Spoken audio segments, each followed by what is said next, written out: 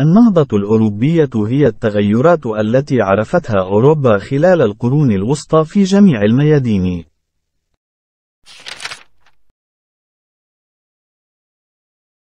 من عوامل قيام النهضة الأوروبية تأثير الحضارة الإسلامية، حيث ترك المسلمون إرثًا حضاريًا كالآداب والفنون. وأقاموا حضارة في غرناطة سمحت للأوروبيون بنقل الثقافة الإسلامية وترجمتها إلى لغتهم.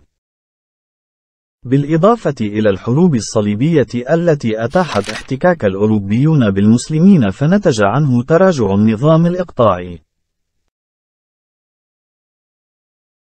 بعد سقوط القسطنطينية سنة 1453 ميلادي هاجر العديد من علمائها ومفكريها الأوروبيين إلى أوروبا الغربية. بالإضافة إلى جهود الأوروبيون من خلال اختراع الطباعة وتشجيع الأدباء والمترجمين.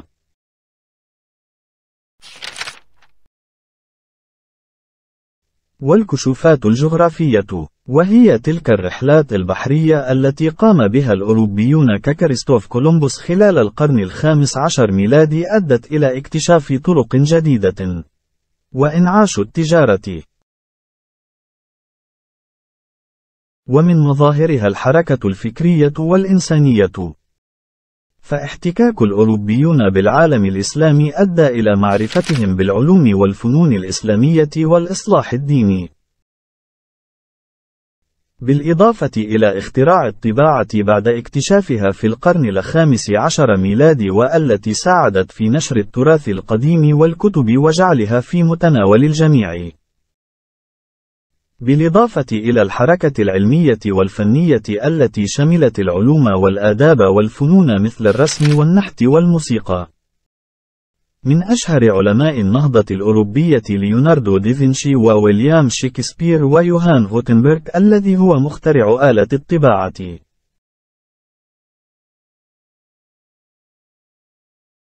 ومن نتائج النهضة الأوروبية القضاء على النظام الإقطاعي. وقيام دولة حديثة. بالإضافة إلى ظهور شخصية الفرد. وظهور ثورات سياسية. وكذلك الثورة الصناعية. النهضة الأوروبية نقل ثقافي أسهم في تقدم المجتمعات والعلوم والفنون.